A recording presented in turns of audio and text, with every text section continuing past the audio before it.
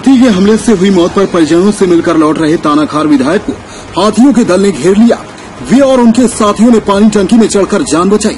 वहीं वन विभाग के कर्मचारियों ने हाथियों को जंगल में खदेड़ा, जिसके बाद सभी सुरक्षित टंकी से नीचे उतरे। आपको बता दें कि कटघोरा वन मंडल के केंदई रेंज अंतर्गत ग्राम लमना चोर धोआ मोड़ के पास ग्राम गुरसिया झलिया मुड़ा निवासी तेल सिंह को हाथी ने कुचल कर मार डाला। घटना की जानकारी मिलते ही पाली तानाकार के संवेदनशील विधायक मोहित राम क्रिकेटा मृतक के परिजनों से मिलने पहुँचे।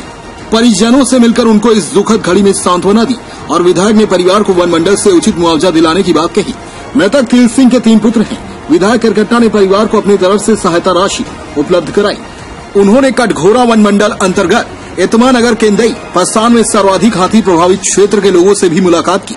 इसके उपरांत पोड़ी उपरोड़ा जनपद पंचायत अध्यक्ष संतोषी पेंद्रो, जिला कांग्रेस कमेटी ग्रामीण समन्वयक आशुतोष शर्मा जनपद सदस्य भोला गोस्वामी, जनपद सदस्य विजय दुबे, मानिकपुर सरपंच मनोहर श्रोते के साथ लौट रहे थे कि हाथियों ने उन्हें आमा टिकरा के पास घेर लिया। इस अप्रत्याशित घटना से सभी दहशत में आ गए। लेकिन तानाखार विधायक ने हिम्मत नहीं हारी और सभी को सुरक्षित पास में ही बने।